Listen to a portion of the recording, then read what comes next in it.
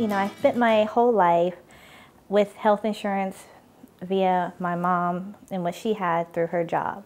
So I never really had to think about what's going to happen in a couple of years. 26 years old, it was like the countdown. No more health insurance. And I'm like, okay, I'm going to have to go and navigate this marketplace on my own.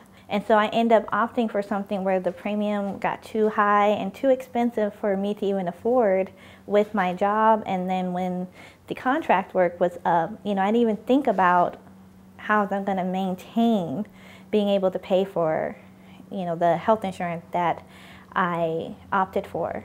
My mom, she was like, you know what, let's try thinking about Medi-Cal. Go and see if you're eligible. Take that step. I went to the Saban clinic. I met with a lovely woman there, and she was very clear with me with everything.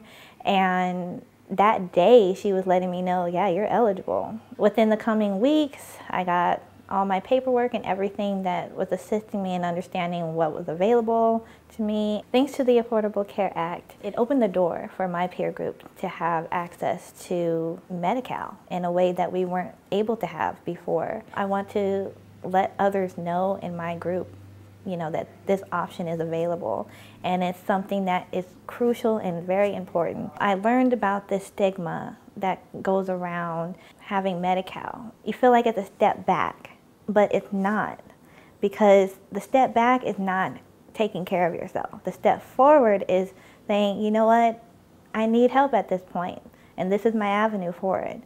To take advantage of that and to not be ashamed about it and to know that this is a gap and that it's not forever.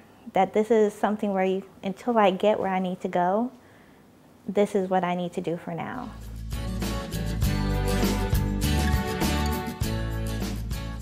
I'm so thankful to be a part of this wonderful event and to be a part of an ongoing important dialogue about how healthcare can evolve to be available to more people and hopefully to all.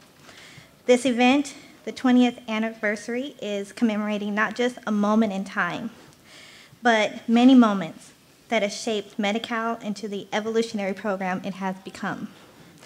Today, I would like to thank LA Care CEO John Baackes for this wonderful opportunity. And I also would like to thank HHS Secretary Diana Dooley and DHCS Director Jennifer Kent for being key contributors to the Medi-Cal Extension Initiative.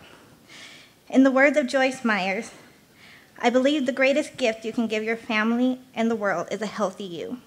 And I believe that Medi-Cal program fully embodies this message.